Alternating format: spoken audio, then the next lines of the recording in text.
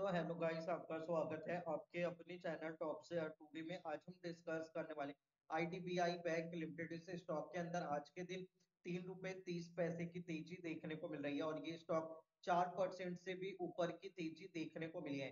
Stock current level पर अस्सी रुपए पर ट्रेड कर रहा है। हम इस वीडियो में ये डिस्कस करने वाले कि इस स्टॉक में फ्यूचर में क्या टारगेट बनते हुए नज़र आ रहे हैं और हमें स्टॉप लॉस कहाँ पर ट्रेड करके रखना चाहिए।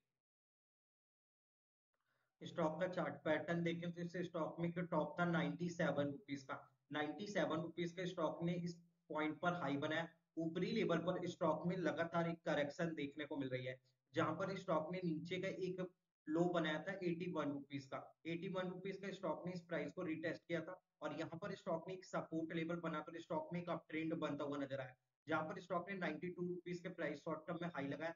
ऊपरी लेवल पर फिर से एक करेक्शन देखने को मिल रही है। स्टॉक काफ़ी टाइम से देखे तो एक रेंज बोर्ड में ट्रेड कर रहा था, जहाँ पर स्टॉक का नीचे का एक स्ट्रॉन्ग सपोर्ट लेवल था 81 रुपीस का। पर स्टॉक ने इस प्राइस को ब्रेक डाउन दिया और स्टॉक का नया लो बन चुका है 75 रुपीस का। 75 रुपीस का इस पॉइंट पर स्टॉक ने एक नया लो बनाया और यहाँ पर स्टॉक में अब एक अपसर अपसाइड मूव बनते हुए नज़र आ रहे हैं। ऊपर में स्टॉक में एक रुकावट रेंज है 81 रुपीस एक बार स्टॉक इस प्राइस को ब्रेकआउट देकर एक क्लोजिंग ले लेता है तो स्टॉक के अंदर एक फ्रेश मोमेंटम बनता हुआ नज़र आएगा। अगर आप इस स्टॉक में पोजीशन बनाना चाहते हैं तो अराउंड सेवेंटी सिक्स रुपीज़ का नीचे के स्टॉप लॉस रखें, ऊपर के target around ninety eight rupees के लिए आप इस स्टॉक को होल्ड करके रख सकते हैं।